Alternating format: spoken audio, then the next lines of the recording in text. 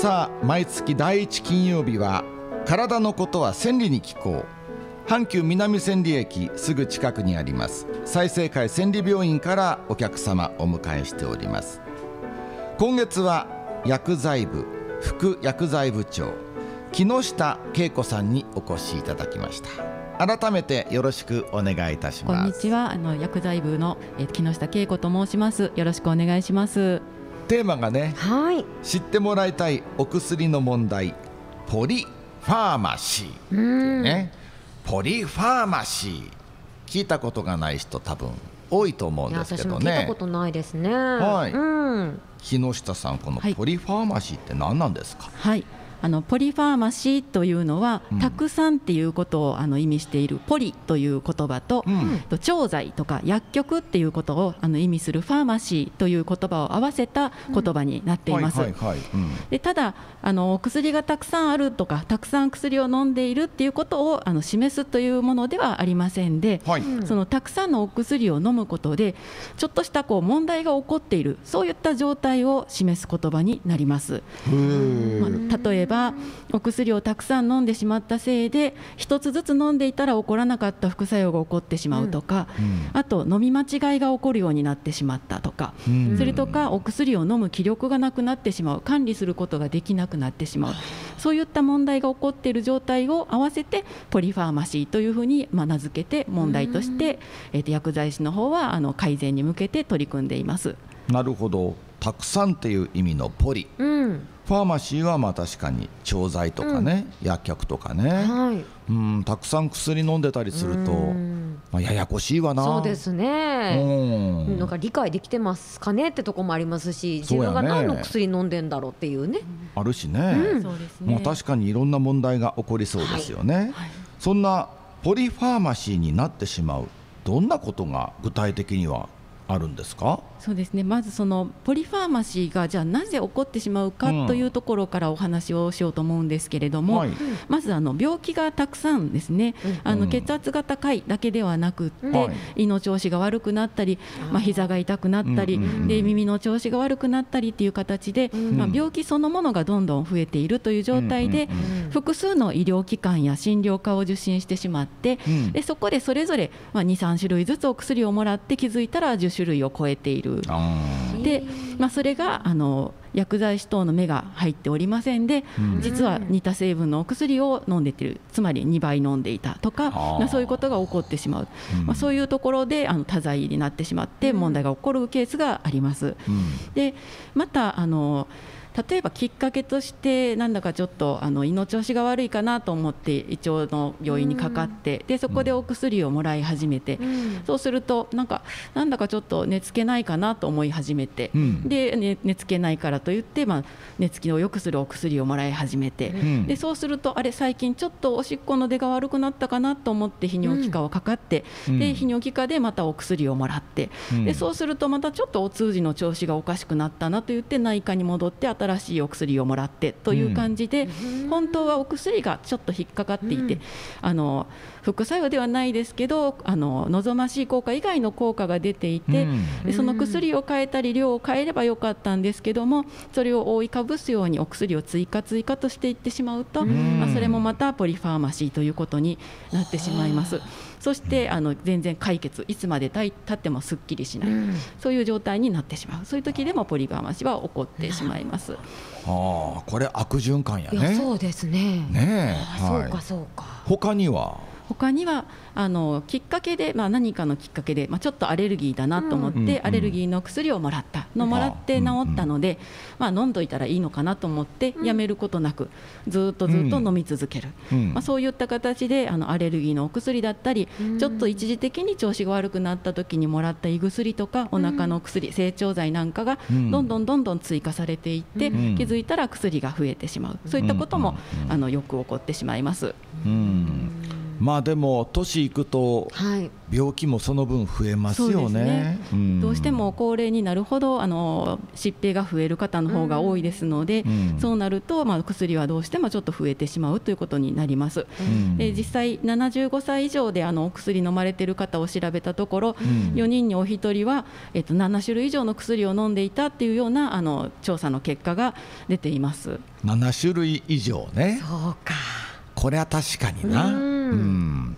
でどうなんですか？その副作用ってはい。起こりやすくなるようなケースってあるんですか、そうなんです。あの1種類だけ飲んでいて、まあ、それで副作用が起こってしまうことももちろんあるんですけれども、飲み合わせることであの飲み合わせが悪いとよく言う言葉聞いたことある方いらっしゃると思うんですけれども、飲み合わせが悪いせいで副作用が起こりやすくなるということはあの実際によくあります。ん。でそれはどうしてかと言いますとそのお薬っていうのはあの飲んで吸収されますと、んまあ、体にあのしかるべきところに行って効果を出していくんですけれども、うん。最終的には肝臓とかあのそういった臓器で代謝されて、うん。お薬の効果がなくなって体の外に出ていったり、うん。まあ、もしくはお薬の効果はあるけれどもそのまま腎臓でおしっこに出してうん。体からなくなる、まあ、そういった形で、まあ、代謝や排泄っていうふうに言うんですけれども、うん。でお薬はあの体の外に出てで効果がなくなるんですね。うん。ただそのお薬同士の飲み合わせが悪いと、うん。まあ A というお薬を飲んでるだけだと普通に体から出ていってたんですけども、うん。A と B を一緒に飲むと B が邪魔してしまって、うん。A というお薬がなかなか体の外に出れない、うん。そういうようなことになると続きでどんどんお薬を飲んでいると薬の飲み過ぎたような状況になってしまったり、ん。効果以上に副作用が出てしまったり、うん。まあそういったことが起こってくるということになります。なるほどね。まあでも薬だけじゃなくって、今ねサプリとか飲んでる人もたくさんいらっしゃいますけど、これなんかもやっぱり同じようなリスクがあるんですかね？そうですね。あのサプリメントの種類によっては、うん。あの食事から取れるような成分であれば、まあ、はい。問題はないことが多いかなとは思うんですけれども、うん。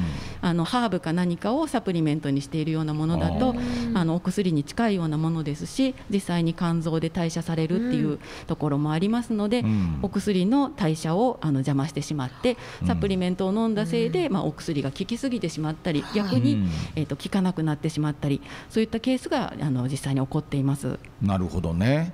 サプリだからってね安心してられないよね。ということはサプリメントこれ飲んでますっていうのも先生にお伝えする今薬剤。そうです。ねちゃんとお伝伝ええしたするのもはい、それはとても大事なことになります。一つの情報やな。ね。うんうんうん、やっぱあれですかこう高齢の方ではい。こういうその副作用って起こりやすいんですか、あ起こりやすいですね、うん。あのというのがあの高齢になりますとどうしてもその肝臓の機能とか腎臓の機能っていうのはあの年を取ると赤ちゃんの時のように翌日に毛が治るとかいうわけではなくて、まあ、はい肌でもそうですけど、内臓の方も同じようにだんだんとあの機能が衰えていくというのはもうどうしようもないことになります。ん。でそうしますとあの先ほど言ったようなお薬の代謝とかうん。排泄っていったところがあの若い方よりも劣ってしまうので、うん。体の中に薬が、まあ、薬の影響が残りやすいということで、高齢者の方が起こりやすいというふうに言われています。うん。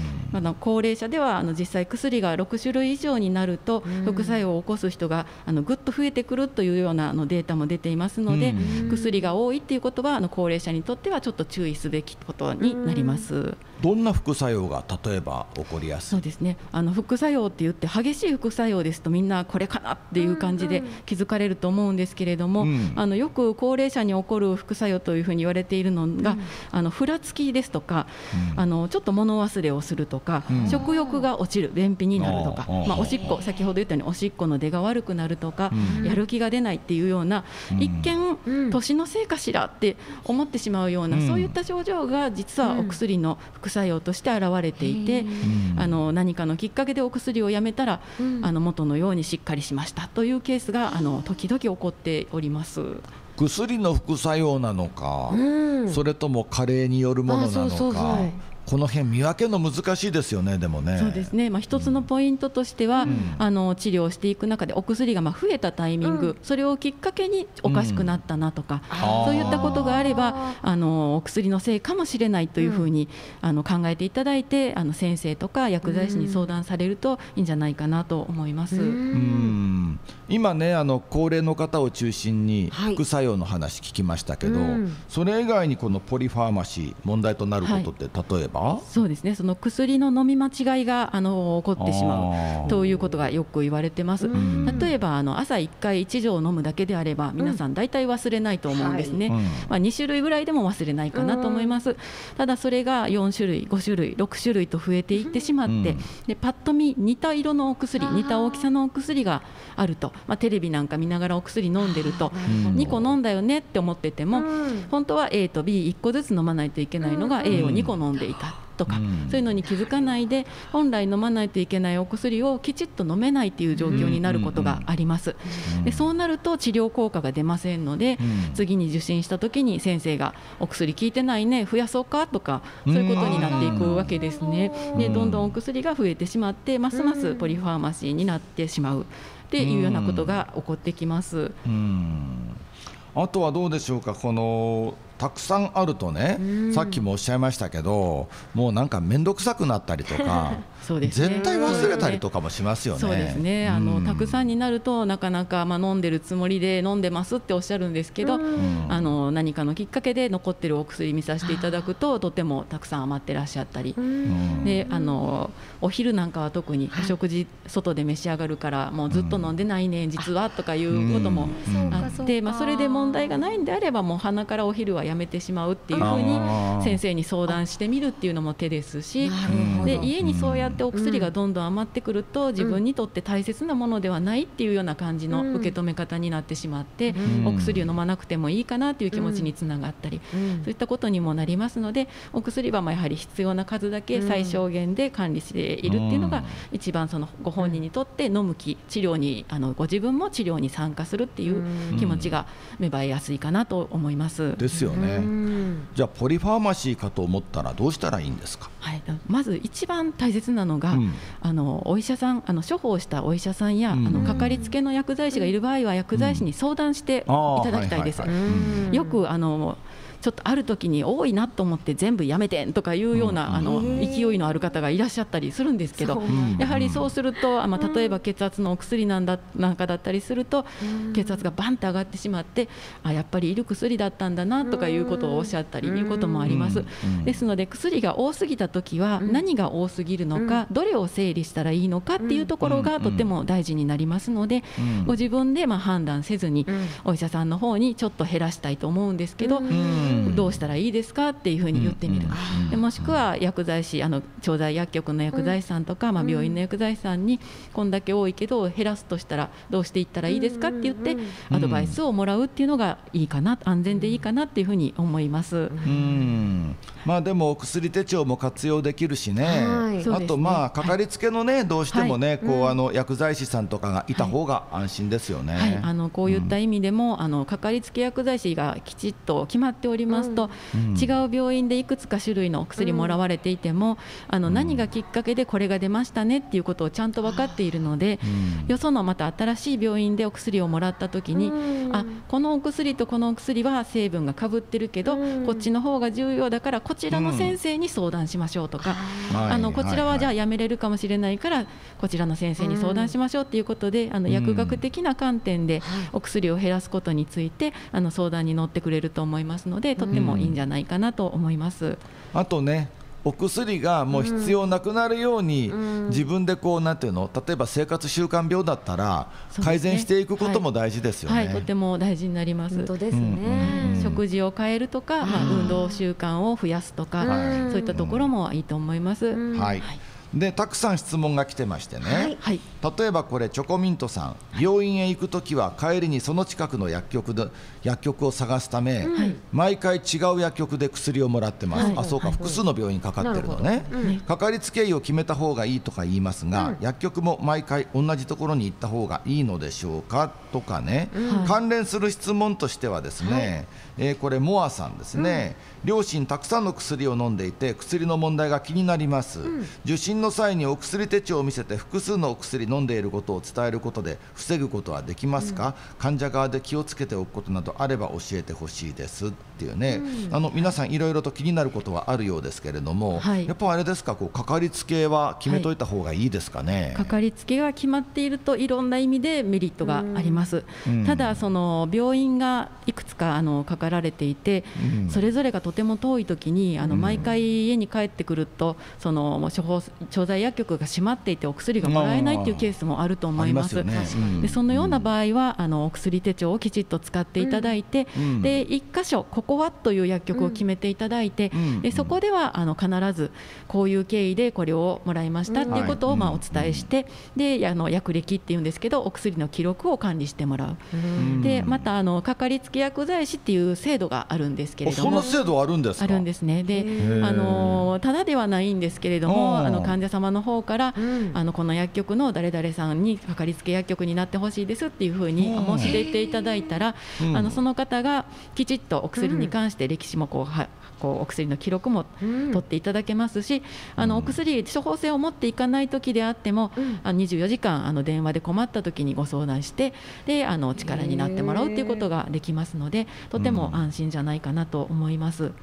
あこれかかりつけ薬剤師さんいいですね。えーそうですね。ねえ。もういろんな薬局でバラバラでもらったとしても、うん。一箇所でそれをすべてお願いしますっていうふうに言うことができますので、うん。もちろん一箇所の薬局にずっと処方箋を持っていければ、うん。一番それが無駄がありませんし、あうん。重なった薬もらってたねっていうことはなくって、うん。その時点で、うん。あ重なってるから何とかしましょうとしてもらえるので、とてもいいんですけど、うん。やむを得ない場合はそういった使い方もあるかなと思います。うんあとねラジオネームアーモンドさんお薬手帳についてね、はい。違う病気で複数の病院にかかっている時診察の時もお薬手帳を出した方がいいんでしょうか。またお薬手帳は免許証や保険証のように普段から持ち歩いておいた方がいいですかっていう、すごい具体的な質問ですけども、はい。これはどうですか、はい、あのお薬手帳に関しましては、うん。あの実はあの災害の時にうん。持ち歩いてて、あのおられた方は薬局や病院が機能しなくても、うんうん。何を飲んでいたかがすぐに分かりましたので。そうか。比較的早期に近いお薬を手に入れることが可能だったんですけれども、うん。お薬の名前も覚えていない場合だとそね。その間違ったお薬を渡すわけにもいきませんので、うん。なかなかあの欲しいと思ってらっしゃるお薬をお渡しするのにちょっとこう状況が揃わないということがあったように聞いています。まあそういう意味でもお薬手帳は旅行に行く際も持ち歩いておかれたら、うん。まあ、急にお薬をなくしてしまったとか、うん。あと、まあ、風邪をひいてうん。お薬を出してもらいたいけれども、うん。一緒に飲めるお薬かが不安だとか、うん。そういった時にも非常によく役に立っていいかなと思います。これやっぱ持ち歩いた方がいいね。ねそうですね。そうやね。はいお名前をきちっと覚えてらっしゃる患者様もいらっしゃるんですけれども、同じお薬であってもうん規格って言いまして、はいうん。1錠あたりに5ミリなのか10ミリなのか、容量が違いますもんね。2.5ミリなのか、うんうん。いやもう薬によっては0.625ミリっていうものから10ミリっていうまで幅があったりしますので、えー。違うものをもらってしまうと治療効果が得られないということがありますので、あのぜひお持ちいただいたらと思います。また最近はあのスマホのアプリではい。そういうのもあるんですか？それを、はい、持ち歩いてる方もいらっしゃいますしあの写真を撮ってそれを持ち歩いてるっていう方もいらっしゃるので工夫次第かと思いますけれども。はい、お持ちになるのはいいことだと思います。でうん。先生にも診察のたびに今これを飲んでいますってお店になることで、あのいろんな先生にとっても情報源になりますのでうん。いいかなと思います。うん。最後の質問青空さん母が高齢で複数の薬飲んでます、うん。薬飲んだらカレンダーにチェックするなどしてますが、うん。時々飲み忘れがあるようです、うん。はい。今のところそれでなんか悪くなったっていうことはないですが、飲み忘れを防ぐいい方法があれば教えてください、はい。どうですか？はい、これはそのお飲みになっている方によっていろいろな工夫ができるかなと思うんですけれども、お若い方例えばお若い方であればスマホにアラームをつけておいて飲おむ時間にうん。なるようにする、でうん。それでご自分で気をつけるっていうこともできると思います。うん。あのお年めたれた方であっても、そういったタイマー機能を使いこなせる方であれば、うん。それが鳴った時には飲むんだっていうことで,、でそれでまあチェックつけるっていうこともあのできるかなと思います。でまたあの薬の管理に関しましてはの飲む回数が増えれるとやはりあの飲み忘れが出やすいですので、うん。あの医療機関の先生とかにまあ相談して1日1回でできるだけ済むようにするとか、あとその1日1回のお薬もご飯の後なんであればお箸置きの横に置いておいて毎日朝に出してでうん。飲み終わったら袋を破って置いておく、あのシートを出して置いておくっていうことで、うん。ご自分が飲んだなっていうのが分かるようにしておくっていうのもいいかなと思います。であのお年を召されていてあのお薬の管理がこれからちょっと難しくなるんじゃないかなというような場合ですと、あのカレンダー型のあのお薬のどういった置物みたいなのがありましてカレンダーの、ねポケットに一方化って言ってあの薬をもう一回袋を破って飲むだけでいいようなものにしてもらってその袋に何月何日の分ですよっていうふうに日付を書いて、でそして曜日のところに入れていくと、あの比較的飲み忘れもなくでうん。もし飲み忘れた時もあのすぐにあ今日飲んでないんだなっていうことがうん。分かって安心またその時に飲めるっていうことで、あの便利だっていうふうに聞いてます。うん。でただあの本当にお年を召されてあのご理解するのが難しくなったタイミングでいくらお伝えしても、ちょっとそのあたりはうん。ご理解難しいということがあるので、あの普段からあのそういった習慣をご自身が理解できてますっていう時点から、まあ、積極的にそういう習慣化するっていうことを取り組まれていると、あの最後まできちっと飲めるんじゃないかっていうような、うん。あのそういった研究をしている人のお話を聞いたこともあって非常にいいかなと思います。うん、すごい勉強になったね。いやーそうですね。これは即役に立つお話なんで、皆さん、はい。すぐに実践してください。はい。ということで今日のこのコーナーのお客様は済生会千里病院薬剤部副薬剤部長の木下恵子さんでしたどうもありがとうございましたありがとうございました。